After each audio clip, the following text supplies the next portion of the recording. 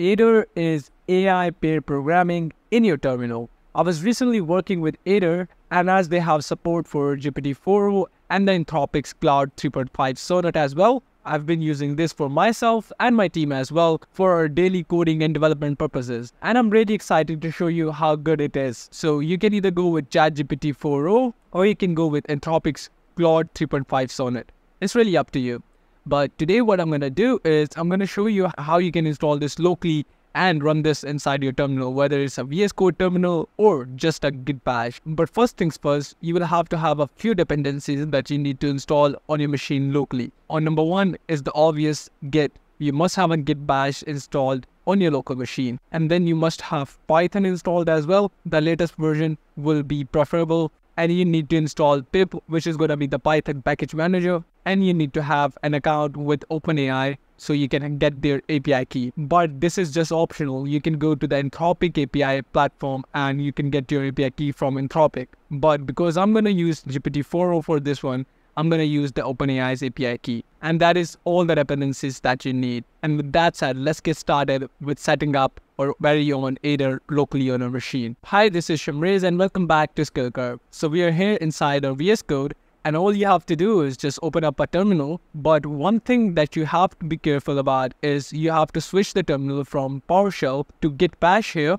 and then you can start running all the commands that are available on the GitHub page. So let's go back to the GitHub page. And if you scroll down a bit here in the getting started section, the first command that we need is the pip install aider-chat. So I'm going to go and copy this one here. I'm going to go back to my VS Code and here I'm just going to go and paste in that command and hit enter. What this would do is it would actually go on and install aider-chat locally on your machine. As you can see, it started downloading aider-chat. There you go. aider-chat is now installed on your machine. Now the next step is to move to a Git repo but if you want to start with a new repo, just say mkdir. This will make a new directory and you can name it anything. So I'm going to go with skillcurb and that's it. With that or skillcurb directory is now created. Let's move to skillcurb. So I'm going to go and say cd skillcurb. Let me just expand this so you can see more clearly. So right now I'm inside the skillcurb repo. The next thing that we need to do is actually initialize this repo. So to do that, you will just have to do git, then you will have to say init and just a period. What this is doing is it's actually initializing the current directory using the period flag. Just hit enter and now you can see that our repo is initialized. Once you're done with that, all you have to do is just start Aider. So if you go back to their GitHub repo, you can see that you will have to choose from one of these models. So I'm going to go with OpenAI here. So let's copy that. What this would do is it would just set the OpenAI's API key. So what I'm going to do is I'm just going to go and paste it right here. But let's just change the text from here and replace this with the API key. So for that, let's go to the OpenAI's platform. And here I will be creating a new key and I'll just name this Aider. Let's go and create the key and I'm going to copy this key. Of course, I will be revoking this key before uploading this video. So let's go back to VS Code. I'm just going to go and paste that key here and let's hit enter. And with that, your API key is now set. Now, all you have to do is just say Aider and it will open up Aider for you inside your terminal. Now, if you're using Aider for the first time in a GitHub repo, it's going to ask you a few questions like if you want to have dot aider added to the dot getting gitignore. Yes, I want to do it because that's recommended and that's it. It added that. Now, as you can see that we are using GPT-4o here and we don't have any files yet. So let's go and start building stuff. So the first example that I want to showcase it is capabilities with is going to be a Tetris game. So I'm going to go and paste in the prompt here just like that and the prompt goes like create a fully functional Tetris game using Python that allows users to play the classic block stacking puzzle game with the graphical interface and let's go and hit enter. Now what this would do is it will actually go on and generate all the codes for this and then I can put all this code inside different files in my GitHub repo and actually test out this game. So there you go, the whole code is ready for you. But if you scroll all the way up, you can see that you will need to install some dependencies first. So it's even giving you a full description like pip install pygame this is a module that you need to install first and then you can actually import this inside the code and make sure that the game works properly. So I'm going to go and do that real quick. Just give me a second. I'm going to go and open up a new terminal here and I'm just going to go pip install pygame. So it's going to install pygame here And the next thing we want is to create a tetris.py file. So I'm going to go and go here. I'm going to go and say tetris.py and I'm going to insert the code here. Copy this code and just paste it right here. Let's save this. And the next file that we need is going to be the shapes.py. So I'm going to go and create that as well. And I'm going to go and copy paste this code from here and just paste it right here. And now if I go to the other terminal, I can see that my Pygame is installed success. So let's go back to the main terminal. And here now I can just go and go to the tetris.py file. I'm going to go and try to run this game now. And there you go. I can press any key to play.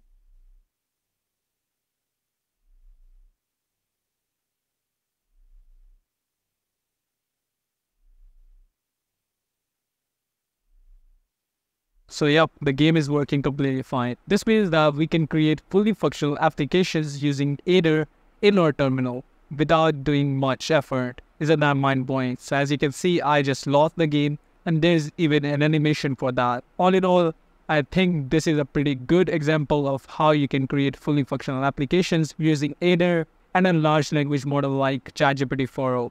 But this is not all. We're actually going to go on and create another application using Aider and see how good it actually worked. So let's close all the tabs here. So now it's time for the second test. So the prompt that I've composed for this one is going to be something like this. Create a Python application with graphical user interface that offers a comprehensive suite of productivity tools, including a to-do list manager, sticky notes, a calendar, and a reminders. So it's going to be an all-rounder application where you can get the basic productivity tools. So I'm going to go and test out Aider for this complex use case. So let's go and hit enter and there you go. It started generating the code and if you go all the way up, notice that it gave you a description for a module that you need to install, which is pip install tk. So I'm going to go and just copy this, open a new terminal right here and just paste that right here. And there you go, the package is already installed. Let's go back to the main screen. And the next thing that we need to do is create these five files and start pasting the code right in. As you can see, the code is complete. So let's go and do that. So I'm going to go and first create the main.py. So in the file explorer, I'm going to go and say main.py and let's just copy all the code from here and let's paste that right here. And one thing that I really want to mention here is that make sure that everything has proper spacing because Python has indentation sensitivity. So I'm going to go and say shift tab and this will align everything. Let's save this. The next file that I need to create is the todo.py. So let's go and do that. todo.py. Let's copy everything and let's paste that right here. I'm gonna go and align everything again and let's save this. The next file is gonna be stickynotes.py. So I'm gonna go and say stickynotes.py and let's copy everything. Let's paste that right here align everything and just save. The next one is to be calendar app.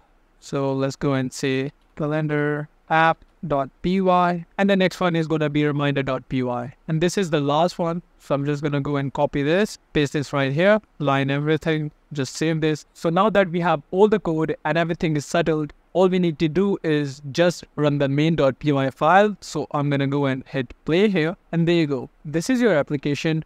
You have the to-do list the sticky notes the calendar as well as the reminders. So I'm going to go and add a to-do list here. So let's say I want to do exercise, just add the task. So it's here. I can delete this task by just clicking here. So as for the sticky note, I can say that add LLM reviews and add the note and the note will be here. The sticky note is almost like a to-do list, but the difference is just you have more capacity to write more in the sticky note as it is more detailed. As for the calendar, you can choose any date as it is 24th of July right now, but you can choose any date from here. As for the reminders, I can put up a reminder here. Let's say I want to remind myself to record and I can choose the time and date. I can choose the year. So let's say it's going to be 2024. As for the month, I want it to be July. So let's just say July. As for the day, let's say it's 24 and let's test this out. So I'm going to go and say 24 and just like that, you can add the hours, the minutes, and the seconds, and just add the reminder. But notice one thing that if you add a wrong date, it will give you an error saying invalid date format. So you must follow the format that it is showing you right here. Let's say I want to go with 16 and as for the minutes, let's say 5 and for the second, just 00. And let's go and add the reminder. And this time, yep, the reminder is added and it will remind me on this time, which is really great. Although the design and UI of this application is not that good, but the basic functionality is just mind blowing. And you get the name as well, Productivity Suite. So yeah, we created the whole Productivity Suite within just a couple of minutes using Aider, and we didn't have to do any coding. Isn't that mind blowing? To me, it is. And I think this is going to revolutionize the way how coding works and how we're going to approach coding in the future. I'm really excited for the future of development and AI, and I'm looking forward to more updates from Aider. And that wraps up our video for today. If you found this video valuable, hit the like button, share your thoughts or experiences in the comments below. Ring the notification bell to never miss out on our daily updates. Thanks for watching and we'll see you in our next video where we continue to curb your skills with the latest tech. Till then, stay curious and keep exploring.